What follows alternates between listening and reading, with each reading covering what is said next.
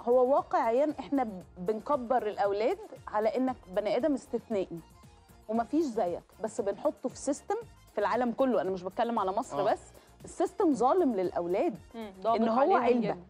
بيحطهم في علبة نفس القالب نفس الحاجة فبرضه هم مظلومين لأن هم exposed قوي. لل technology وللعالم اللي بره اللي هو مغري قوي قوي قوي واللي عنده 8 9 سنين ده في أغلب الأحوال مش عايز يكبر يبقى موظف. مم. إحنا سمعة الموظف بقت حاجة شنيعة. آه آه ده حقيقة ده بقت حقيقة. حاجة فراوند ابون بقينا طيب، آه، آلاء، إحنا موظف د- ده مش حاجة حلوة. لو اتكلمنا دلوقتي على إني عايزة أربي الطفل إن دي مسؤوليتك وإن ده دورك إن أنت تكبر وتوصل لهدفك شايفة من سن كام أبدأ أوجه الطفل للدماغ دي أو للفكر ده؟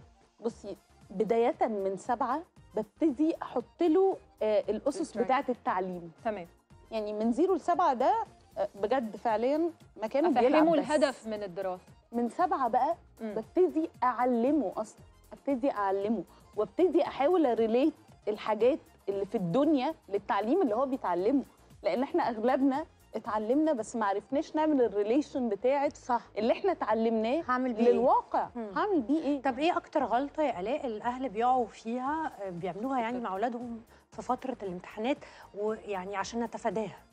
آه، الستريس المبالغ فيه. توتر. مهم جدا ده. آه. ده مهم جدا. ده- كأننا داخلين معسكر فعلا بتاع لا غير معسكر. مم. آه، هو بيوت بتتقلب كلها في بيبقى في حالة من التوتر فيكره أصلا الطفل. إن هو يذاكر.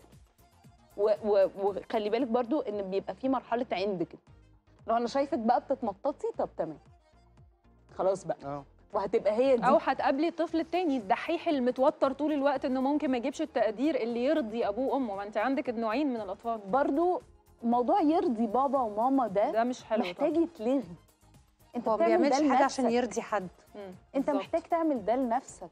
لأن للأسف الشديد إحنا بنربي الأولاد اللي بيكبروا بعد كده يبقوا هم الرجالة وهم الستات اللي دايما باصين للفاليديشن من العالم. هو مش بيعمل حاجة لنفسه. صح. عايز ان عايز هو بيعمل ده. لنفسه. أنا بتعلم علشان أنا محتاج أفهم علشان التعليم ده هيساعدني في حياتي مش عشان أنجح بس.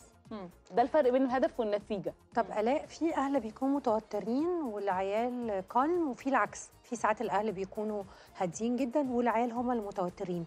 الأهل بقى يعني يساعدوهم إزاي إن هم يقللوا التوتر ده وهم داخلين على الامتحانات؟ بصي أنا أنا شايفة إن أنا لو أنا اللي عندي النولج وأنا اللي فاهمة في الحالة دي الكبير هو اللي فاهم فهو المسؤول إن هو يوصل للطفل مش العكس. لأن دي غلطة برضو بيقعوا فيها أهالي كتير قوي إن هم عايزين مثلا لو هم متوترين قوي الطفل يحس بيهم. وده مش منطقي. أنا لو أم أنا المسؤولية عليا أنا إن أنا أفهم ابني أو بنتي يعملوا إيه وهم بيعملوا ده ليه. فهي مسؤولية على الأهل. أنت لو أنت اتعصبتي. وبقيتي أنت على طول متوترة مفيش حد مستفيد أي حاجة. لا هم استفادوا ولا أنت استفدتي. ولا هتوصلي للنتيجة اللي أنت عايزاها. فاولا الأم محتاجة تعمل control على نفسها أو الأب محتاج يعمل control. على نفسه. آه. طبعا. ثانيا إن الأهل نفسهم يكونوا واعيين لفكرة إن الطفل بيعمل ده ليه مش ليهم مش لإرضائهم هم. مش عشان أقول أنا ابني نجح وعمل ودخل هندسة ودخل طب. وللأسف